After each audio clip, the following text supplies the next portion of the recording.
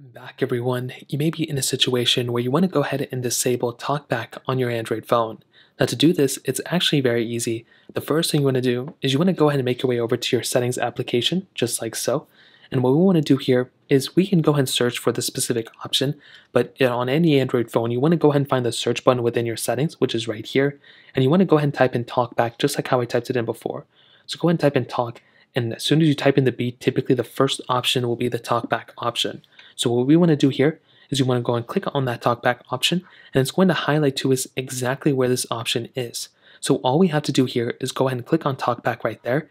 And all we want to do is where it says use talkback, you want to go ahead and disable this toggle. Now that is really all you have to do.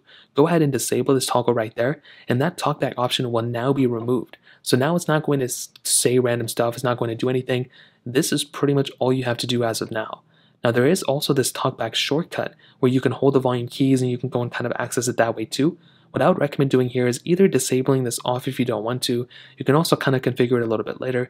You can also go and click on the talkback settings and you can also kind of get it through a little bit more here. If you want to go ahead and keep talkback on, you can go ahead and, you know, kind of customize it here a little bit. But most of you probably want it off. So you can just go and click talkback off right here and then it'll go ahead and disable talkback for you. So that is pretty much it. If you have any other thoughts or questions, let me know in the comment section below. Hit the like button, that would mean so much, but definitely hit that subscribe button. More importantly than everything else, I love every single one of you guys. Hopefully I'll catch you guys in the next video.